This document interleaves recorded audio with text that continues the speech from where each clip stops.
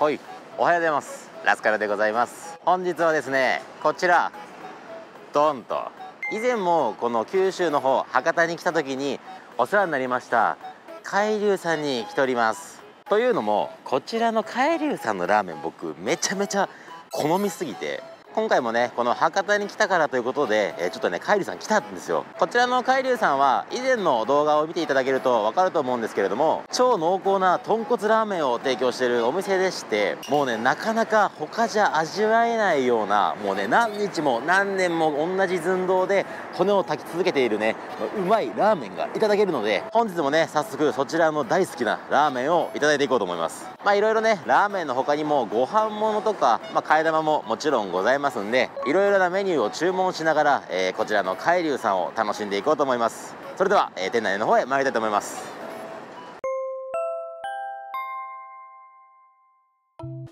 ということでこちらが海龍さんのメニューになります。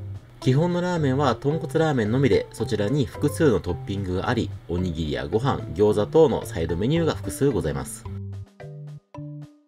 で、こちらの海流さん、豚骨ラーメンでは意外だと思われますが、おすすめの麺の硬さはずんだれというやわ麺になります。この硬さが海流さんのスープに一番合い、麺の甘みや香りを感じるということで、今回もラーメンはずんだれで注文いたしました。全部のせ大盛りずんだれです。すいません。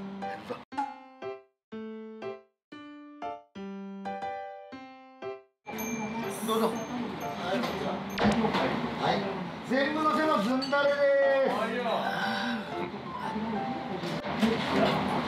す。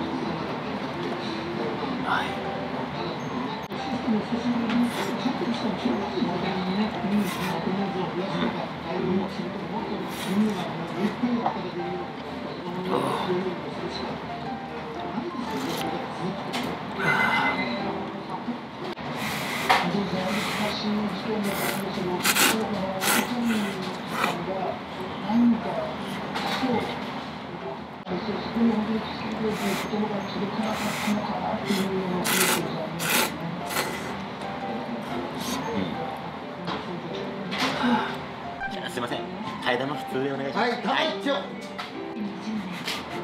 帰りぶんなれですまたおうぞ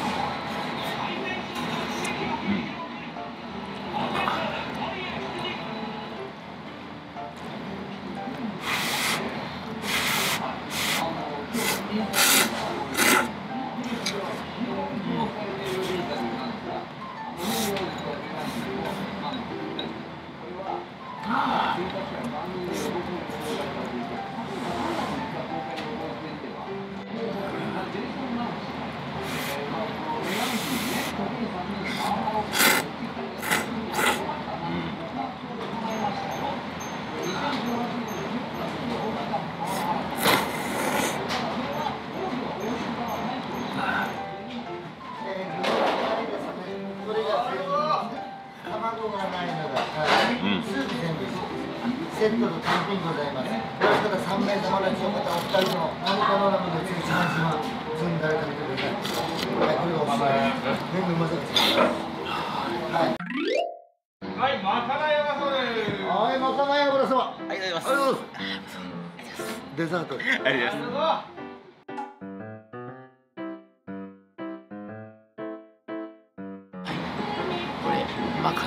かない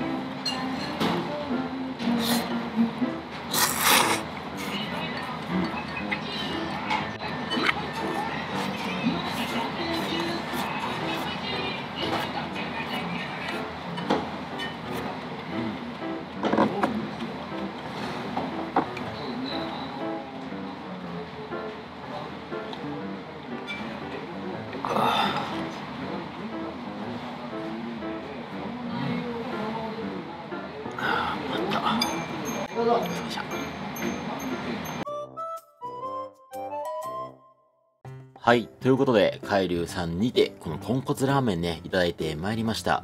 こちらの海流さんのスープは、創業以来ね、羽釜の方に豚骨を継ぎ足して作っているスープなので、もうね、なかなか他では味わえないような、コクとか香りとか、まあ、熟成の具合ね、これがね、抜群にうまいんですよ。